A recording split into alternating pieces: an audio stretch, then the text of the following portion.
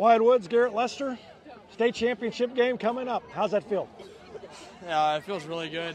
uh, never not done before in school history, so it's really something special for us. Especially as all of us seniors growing up, we all knew that we could do this if we just put in the work and time, and here we are.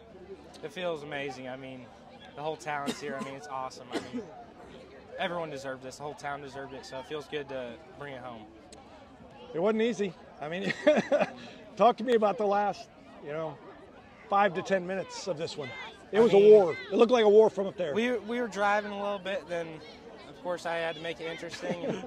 I turned it over on on that play down here, and I just felt so bad because I keep putting the defense in those tough tough predicaments. And but I, I talked to Kilmel, and he says he likes his back against the wall. So I guess they kind of like the pressure, so they play well under it. So uh, I was just stressing, but defense again came in clutch, so it just feels amazing.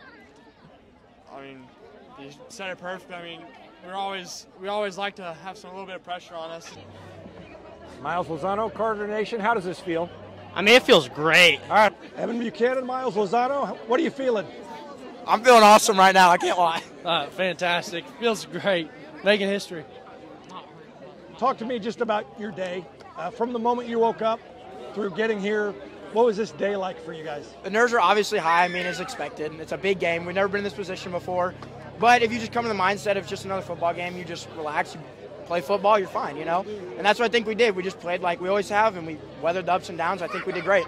Yeah, I, it felt a little weird not having school all week, but just wake up. It's another football game. Obviously nervous, but just come out here. Just another team on the schedule. Another person to get there. Talk first about the defense, Evan. You had to make the stop, and Yeah. and uh, that obviously that was a big stop. When we saw the turnover, we obviously we get a little worried, but I mean we've been in position before. It's not something new to us. Um, we just tell them relax, play football, and that's what we did. I mean, eventually we capitalized on one of their mistakes, and I think that's what and ultimately helped us win the game. And then Miles, you just needed a first down to run out the clock after you got it back. What's what's the offense thinking at that point? Just leave it all on the field. There's nothing left. Just every everything you got, every single play to get that first down. It's all that matters in the moment, and that's what happened. You had a you had a penalty where you jumped.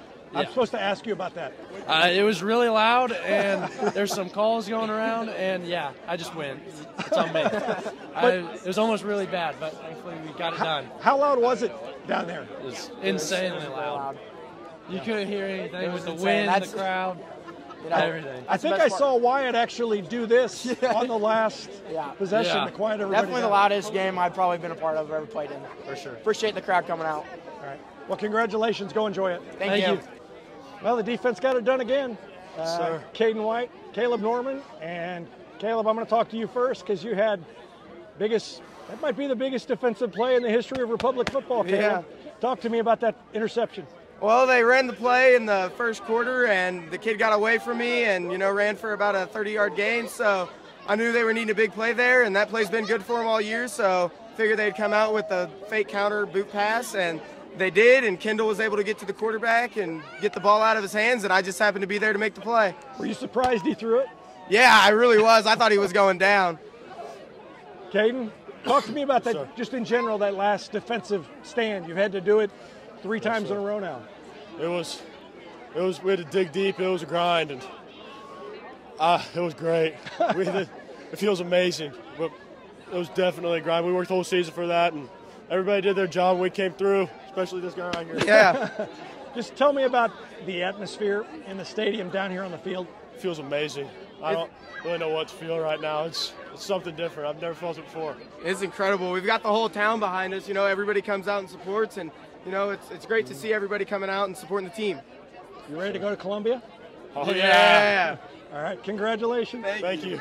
Two members of the offensive line join us, and uh, just tell me first what you're feeling. Uh, I don't really know what I'm feeling, but it's great. I mean, Yeah, it's, it's good to be a part of a good win. yeah, it's it's. I don't know. It's it's crazy. I, it still hasn't sunk in yet. It's yeah.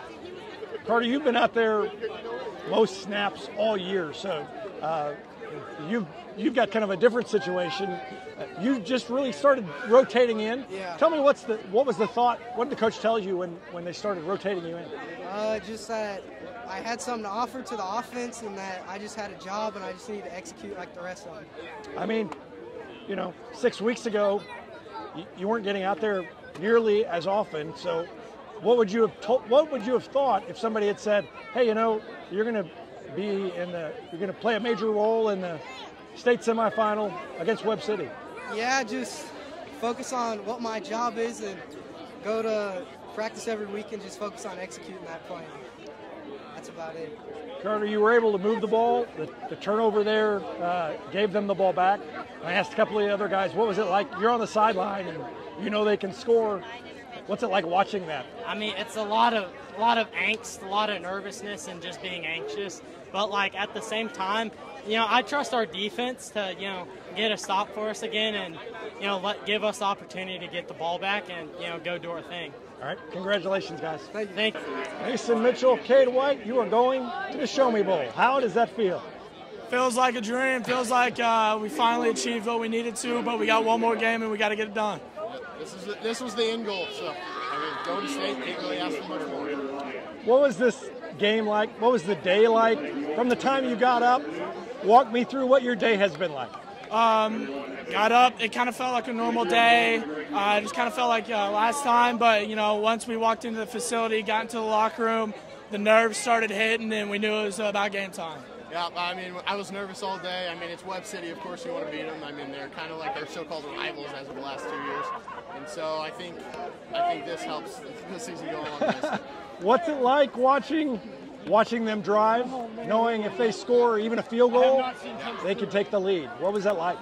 Uh, you know, obviously it's nerve wracking, but you know we, we trust on our defense. They've come out with a ton of great stops, and huge stops in these last couple games, and they've been great in the second half of the game for sure. Yeah, I mean you had to have you have to have a lot of faith in them. They've been a second half defense, uh, playoffs wise. So I mean I, we were pretty comfortable. All right, congratulations, guys. Thank you. Ryan Cornelson, how does this feel? It's it's a true blessing. The good Lord has blessed us, and uh, you know, with a great group of kids that are that were willing to work uh, for three years and, and, put in the time and the effort, uh, and, and I'm very thankful for it. How do you keep them and, and yourself on an even keel in a game like this that has so many ups and downs? You know, one, I mean, experience. I've been doing it a while, so I've I've I've been in some games that were big, and, and you just try to keep your composure. Uh, and usually, if you keep your composure, your kids will keep theirs. And, and I, I, felt like today we did a great job of that. I mean, we had there was several times we could have we could have folded and, and could have you know given in, and, and uh, we just kept fighting. We kept trying to make plays and made just enough to to come out with a win. How big was that defensive stand again? Right, it, it was huge, and, and uh, you know Norman's one of our savviest kids, and, and, always in the right place, and he couldn't have been in the right place any better time than, than there for the interception there at the end. So that was awesome. Tell me about the atmosphere, what it's like to coach in an atmosphere like this. Man, it's it's awesome, I, and I've been you know several places and, and played in in state championships and big games, and, and, and this is by far the best I've seen. Like I've never been involved with anything that was was that uh, exciting to play. You know, it, any play that was big for us, it erupted, and, and, it was it was awesome to be a part of. And uh, you know, last week and then even more this week, and, and uh, what a great experience for our kids. You know, I, I, told them during practice that they've definitely lit a spark in the community. If they win this one, it'll be a flame. And so uh, they, they've done that and, and created a, a, buzz around town, and, and our, our community's doing a great job of supporting our young people, uh, and I couldn't be any prouder to be a part of it. Have you thought about uh, have you thought about next week yet? Uh, I, I, haven't. I know we've got some, some Zoom meetings with MSHSAA stuff like that uh, on Sunday, so uh, I'll, I'll, probably start film tonight and, and uh, wake up early and get get a plan going. All right, congratulations. Thanks, sir. One. I appreciate it. Last question: For two and a half, three years, we've been watching you put a man in motion, call a timeout. Everybody in the area, everybody in the state knows that a timeout's coming. Don't jump offside Today you set the guy in motion. You ran the play. Talk to me about talk to me about that decision. Yeah, I mean, there's a good story behind it. One, we we I don't when when I go to defense, they work that that they work all our two our uh, short yardage. You know, the the reverse pass you saw early in the year against Nixa. They work that, and so uh, when we ran it the first time, it was wide open, but we didn't call it. So the kids were like, "Quiz, quiz." What's what we call it? Quiz, quiz. So I said, next time we'll call, we'll call quiz. Uh, but at first I said we haven't worked it all week, and they're like, "Coach, we work it every day." I'm like, because I'm not I'm not there during that period. So kind of like the reverse pass. Uh, sure, sure enough, we got another opportunity to call frozen. We called quiz.